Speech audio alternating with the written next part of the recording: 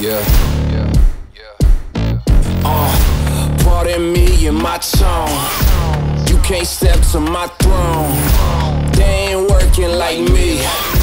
I did this on my own. You asking where we been, huh? I don't know where to begin, huh? All this dirt on my skin. I just came here to win. I'm more than a man, I'm a monster. Somebody call a pastor, doctor. Got a six sense for imposters. So now I'm coming for the whole roster. It's not a game, why you playing with me? You could double back, lose track, try and hang with me. It must be in my veins. Hey guys, welcome back to my channel. And in today's video, we're gonna be talking about the Sony Cine 16 to 35 T3.1. Okay,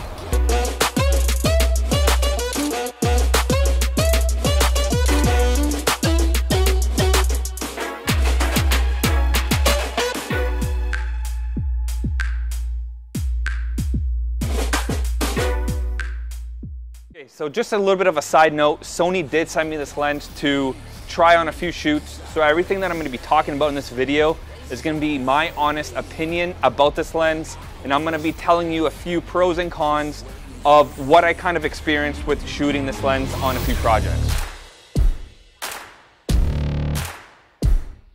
Uh, please excuse me, your honor.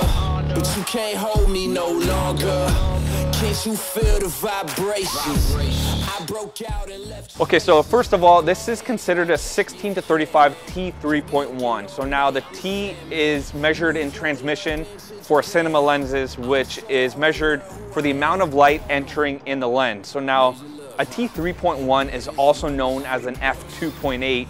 And as you can see on the side of the lens here, you have the A for auto to be at 3.1, but then when, as soon as you switch it down, it goes to a 2.8, which you're able to see in the camera.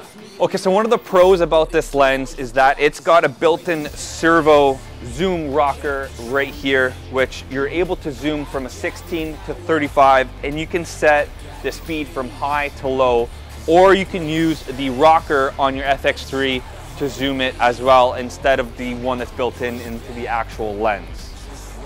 So another feature I like about this lens is that this actual lens hood or matte box can come on and off so it doesn't look as bulky but this does help especially if you're shooting in bright daylight and you have some sun entering the lens. It is, it is pretty big and now to fit this in a camera bag that you have especially with a small lens, you probably don't have a big enough camera bag to fit this lens in. Um, only because you know you're running around with a small cinema camera like this, the FX3. So why would you have an enormous bag? Um, so therefore, the, this lens is going to be pretty bulky in your camera bag. It's going to add weight. Now, if you see this whole setup that I got right here, I, I have a small rig rail system with a cheese plate, and then I got the actual plate to mount onto the FeiyuTech. Um, so this piece has to be below this, otherwise this is gonna be hitting your gimbal. Um, but right here, this setup right now, it is working perfect and I was able to balance it on the FeiyuTech, um, which I'm using the AK4000 and it is able to hold all of this weight all at once. Go ahead, try catch me if you can, man. You'll be looking all night, I'm the same, man. New York, London to Japan. I'ma show the whole world who I am. Major look, huh? Yeah, this one is for the books. All these chances I took still.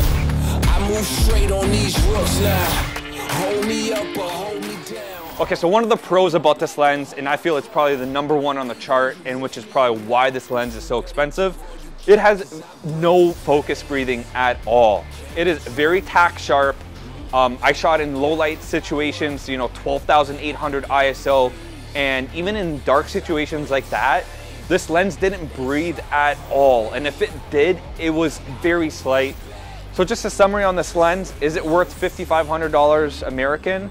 Um, I'm gonna let you guys decide. You let me know what you thought of, of uh, the footage that I just showed you guys. Everything was shot with this lens, either at a 16 mil, 35. Um, most of it I did shoot at f2.8 only because I like that depth of field. I like the blurriness between the subject and the background. Um, so you guys let me know what you guys think of, of this lens. Um, and I also want to give a big shout out to Sony for them letting me borrow the lens. Um, unfortunately, I do have to send it back next week. But other than that, stay tuned for the next video.